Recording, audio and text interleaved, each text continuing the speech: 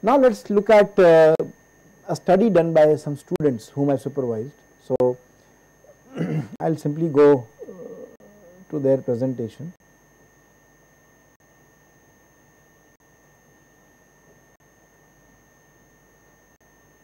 So this team of students uh, led by one Carlos, they took part in a global competition AIAA uh, student design competition for a hybrid ultra heavy light lift cargo vehicle and they called this as HULC VT because VT is Virginia Tech.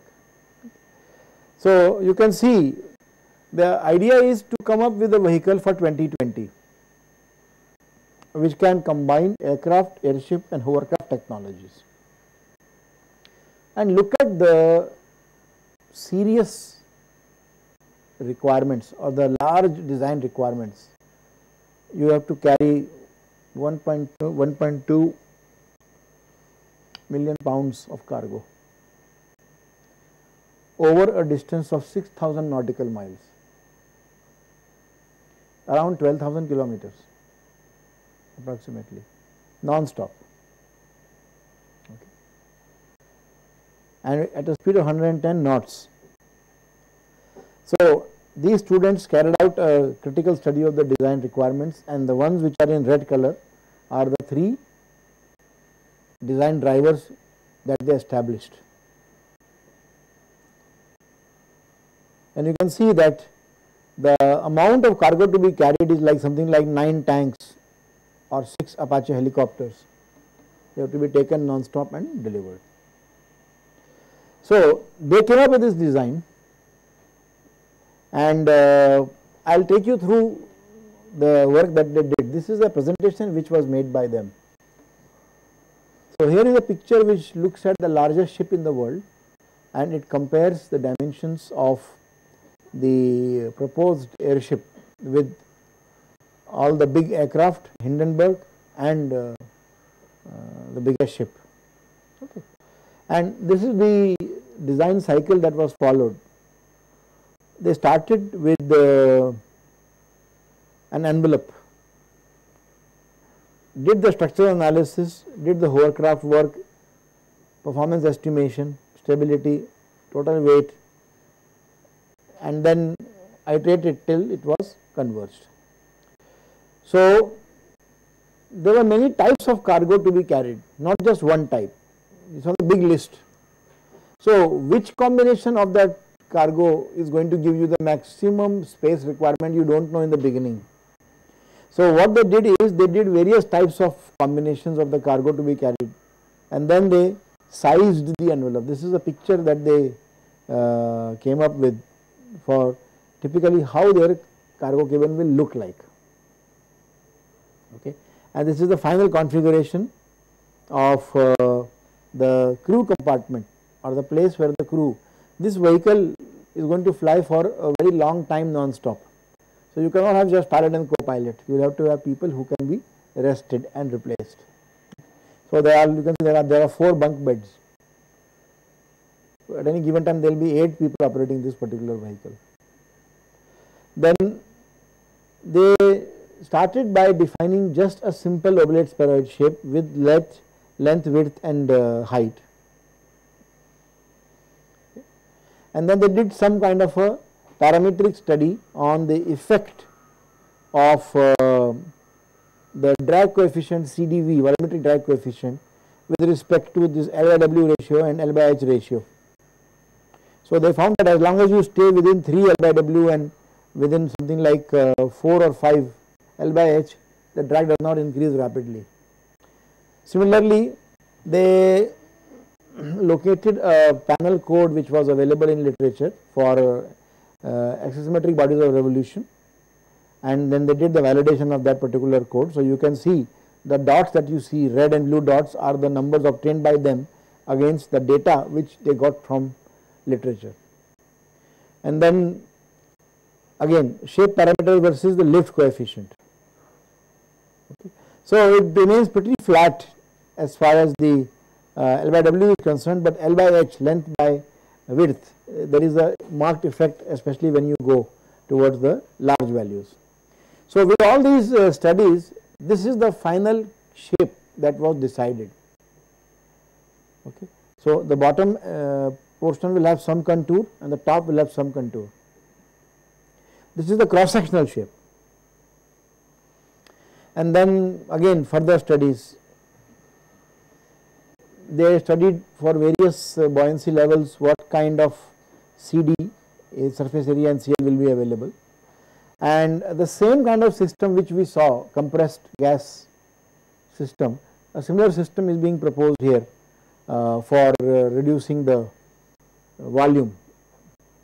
It is impossible for you to use a conventional balloon in this particular system because the balloon will occupy such a large part of the envelope that there will be hardly any space available.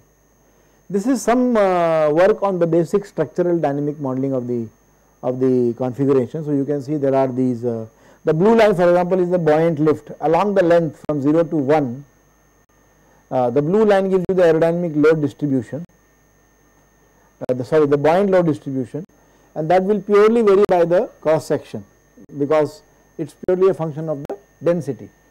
The red one is the aerodynamic lift which will be more at the more on the quarter chord. So, you will have a similar kind of a peak. Then structural weight will also be distributed purely as per the cross sectional area except when you come to the central area where you have the uh, where you have the um, payload but the structure of the vehicle itself will generally vary as per the cross sectional area. Uh, this is the gondola weight which suddenly increases then you have fuel weight fuel is kept uh, inside the tanks fin is only at the rear and then the envelope weight variation.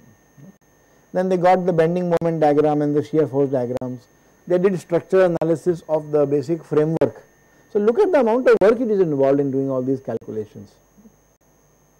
And finally, one student I remember was focusing only on the air cushion vehicle system. So, he studied uh, what kind of vehicle uh, systems can be considered and he zeroed into the air cushion system. So, then he started looking at the theory and design of air cushion craft and then he designed a system which would be able to take care of the loads and he did the cost estimation also what it will cost to make it Then engine selection was based on the data available for existing engines for large aircraft.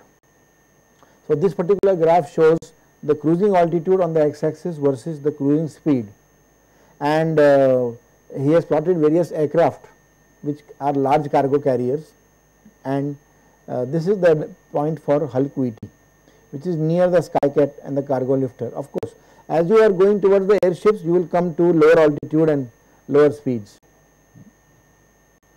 Then uh, from the data available on the internet and from the engine manufacturer there were 4 possible engines which were uh, shortlisted, they were studied in detail and then finally one of the engines was chosen.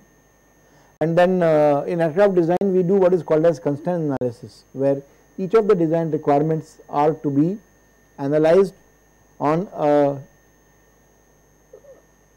on a graph having wing loading on the x axis and power loading or thrust loading on the y axis and uh, these lines indicate the constraints. So, the area below these lines is infeasible and the area on the left uh, and the right of the line is infeasible uh, sorry the area on the right of the line is infeasible. So, with that you, you find out the uh, operational point. Similarly, they one group of students were focusing on the sizing of the fins and uh, they actually did calculations for stability calculations for the moment coming when there is a one engine run out and then uh, came up with the exact dimensional requirements. The fins are not small, you can see the horizontal tail is 11,000 square feet. Then one group was focusing on basically the center of gravity control so that the moments are not beyond what the aircraft can handle and with that you got the center of gravity range for the aircraft. And then finally uh, we had a 3 view drawing of the aircraft weight breakdown. So, you can see that uh, around 30 percent of the weight is basically for the internal structure. Uh, this is 26 percent. Fuel weight is around 30 percent and payload is 28 percent. So, the amount of fuel you need to carry is roughly matching with the amount of payload that you are supposed to carry in this particular example. And uh, other things are very small in size, gondola is only 7 percent, material of the envelope is just 3 percent. Then these are other airships which they plotted, mission analysis, how it will perform. You can notice it is 6000 nautical miles. And then they did a very nice animation which I do not have with me on from the place where it is supposed to take off that is Fort Lewis in Washington. What route will it take to fly to Busan in Korea which is supposed to be the place where they will be delivering it. Then cost analysis is very important because the whole exercise was to be judged against what is the cost that you will incur per kilometer per kg for transporting cargo as compared to other means. So, for that they looked at what is called as the DAPCA 4 model from RAND Corporation and then I will not go into the details, but there are you know large amount of uh, terms explaining various cost components. Important point is that if you produce if you produce one airship, just one airship is produced, then the entire R&D cost is going to be put on one airship. But uh, if you produce more of them, then some part of the cost can be offset onto the uh, airship sold. So you can notice here that uh, the operating cost can come down from 1.16 dollars per pound to 1 dollar per pound. This represents around 17 percent improvement by making a larger quantity. And uh, they compared the location of HULC VT with respect to water based transport, rail, truck, air and space. So, it is somewhat matching with air cargo. Okay. And then this is just uh, some comments students made at the end of the presentation about what they learned in this exercise because they worked with me on this for about a year, about a year along with their uh, course on aircraft design and then this was submitted to the competition.